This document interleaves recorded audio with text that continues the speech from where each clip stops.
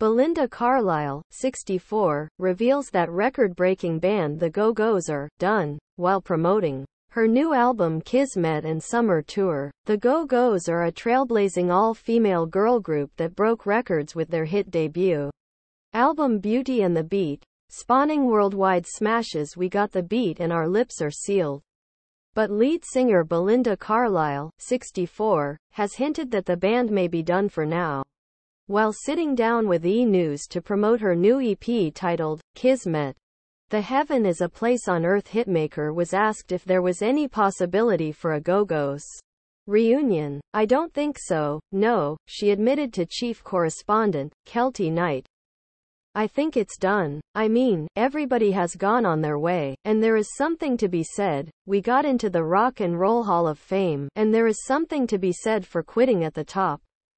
The rock band, which was formed in LA back in 1978, consisted of Belinda, lead vocalist, Jane Wiedlin, rhythm guitarist, Charlotte Caffey, lead guitarist, Gina Schock, drums, and also Kathy Valentine, bass. The Go-Go's jumped into the spotlight with their 1981 album, Beauty and the Beat, which landed a top seat on the Billboard album chart. Our Lips Are Sealed is just one of the hit tracks on the album.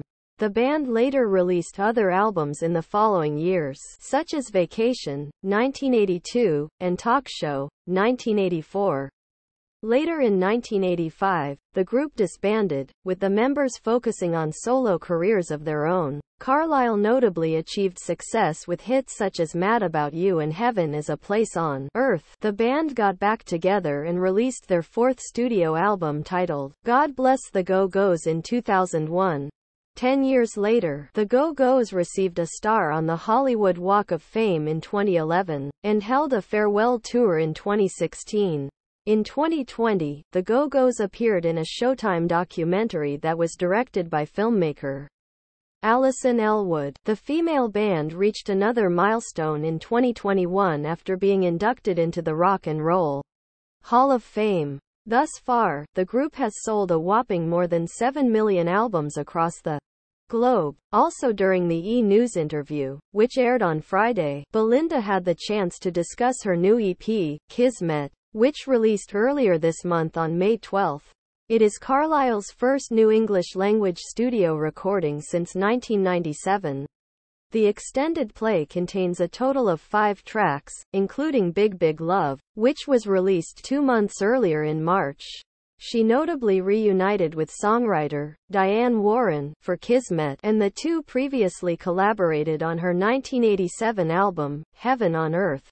Warren has written top hits in the past for fellow stars, such as Cher's If I Could Turn Back Time and Aerosmith's I Don't Want to Miss a Thing. When asked how she and Diane jumped back to the studio together, Belinda admitted, well, it was an accident, because I was planning on retiring, but my son ran into Diane Warren at a coffee shop, and she said, What is your mom doing?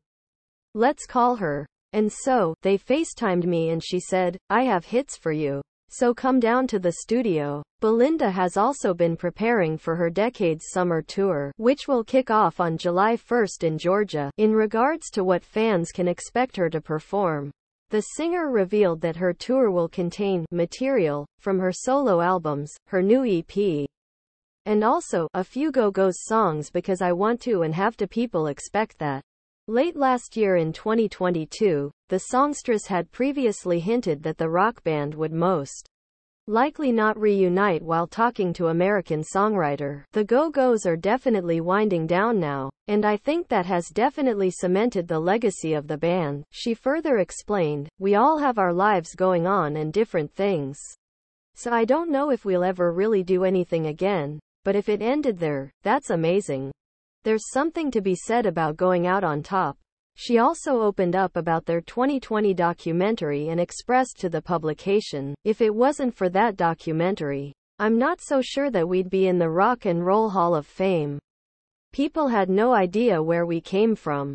They just assume we came from an American Idol type show. It really is an incredible story. So I think that created a whole new level of respect for the band. The Rock Hall was step 2 the mother of one James, 31, whom she shares with husband.